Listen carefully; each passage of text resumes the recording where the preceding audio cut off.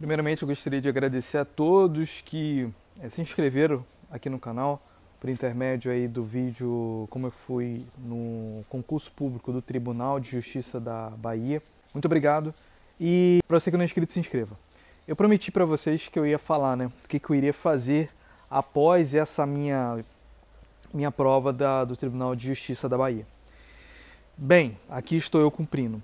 A primeira mão, eu iria fazer concurso público do Tribunal de Justiça do Sergipe. Só que, infelizmente, eu não vou conseguir ir. Os preços da passagem aérea daqui do Rio de Janeiro para lá estão exorbitantes.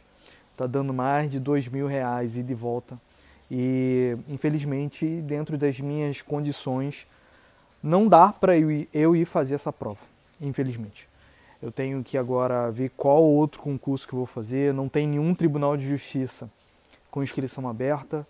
É, tem previsão, né? Tem previsão de Tribunal de Justiça do Rio Grande do Sul, de Minas Gerais. E você pode deixar nos comentários aí também se tem outros. É, mas a princípio não, né? Infelizmente não tem. Então eu não sei, sinceramente, é, o que eu posso fazer, se eu aproveito algum concurso que esteja aberto, se eu continuo minha jornada estudando ali as disciplinas afins, fins, né? do Tribunal de Justiça, né, que é civil, processo civil e todos os outros, né, não muda muita coisa. É, eu estava vindo das carreiras policiais, já sou aprovado na PSERG. E, assim, eu, eu provavelmente acredito, eu acredito que ano que vem sai o curso de formação e eu sou chamado. Então não compensa eu ficar fazendo curso, é, concurso para polícia, porque em tese já estou com um garantido. Né? Basicamente é isso que vai acontecer.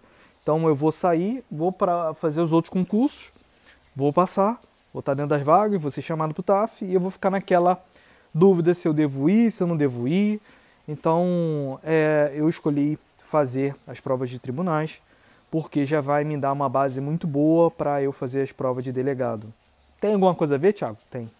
Pior que tem, porque a disciplina que cai na prova de delegado é o quê?